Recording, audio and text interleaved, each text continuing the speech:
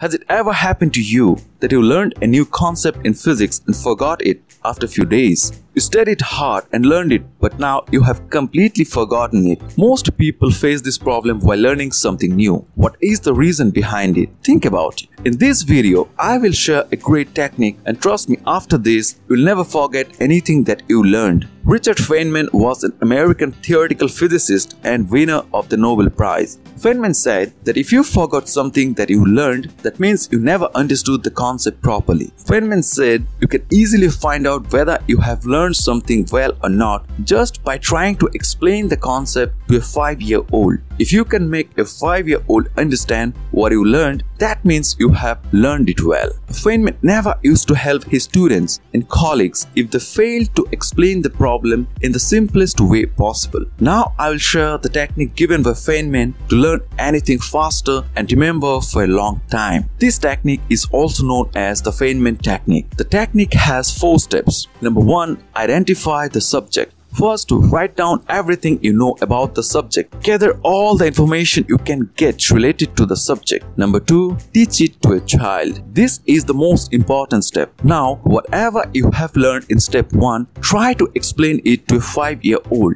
If you can make the child understand, that means you have mastered the subject. You must be thinking, is it necessary to teach to a child? Can't I teach my colleagues or classmates? The answer is absolutely no. The reason behind this step is that you can easily explain what you have learned to your classmates or colleagues. But when it comes to a child, you cannot use complex words and terminologies because the child won't understand it. So your explanation needs to be in the simplest form. And also, the attention period of a 5-year-old is very low. So your explanation needs to be very simple and fast. If you can achieve this, that means you have learned it properly. The step is not easy as it sounds, but with practice, you will master this. Number 3. Identify your knowledge gap. Now, while explaining the concept to the child, notice the places it was hard to explain. Notice where you lacked knowledge and where you failed to explain the subject to the child. This is the step where real learning happens.